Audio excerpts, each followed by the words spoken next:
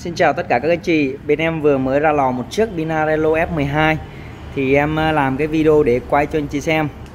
À, Rất đẹp anh chị ạ. Màu trắng cho nên là mình nhìn thì mình à, cứ phải gọi là thích rồi. Vì à, màu trắng này là màu tựa như em Ngọc Trinh vậy đó. Em thì rất là thích em Ngọc Trinh.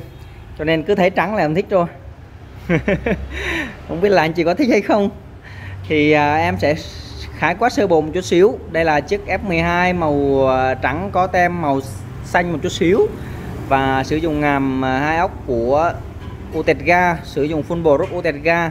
Cũng như là phần bánh này cũng là của Campanolo thì phía sau nó đi, đi 3 căm.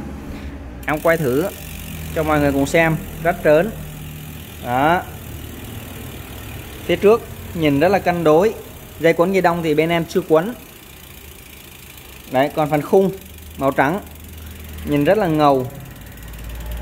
Đó. Phía sau của xe là tổng thể là như vậy. Là phần à, clip xe. Đây là phần cùi đều u tịch ga. Đó. Chị nhá đó. Đây là cái à, cùi sang dĩa. Còn đây là giò dĩa của Utega về tổng thể thì con xe này nhìn rất là cân đối cũng rất là đẹp. Và bên em cũng đăng lên một số xe. Đang lên luôn anh chị ạ. Thì chắc là khoảng tầm à, vài ngày nữa một hai ngày nữa hôm sau lại có clip cho anh chị xem. Tổng cộng thiệt hại con này trên 50 củ anh chị nhé à, trên 50 củ khoai lang thì nếu mà mình à, nâng cấp một số phụ tùng nữa nó còn đắt hơn nữa. À, mọi người ạ. Đấy.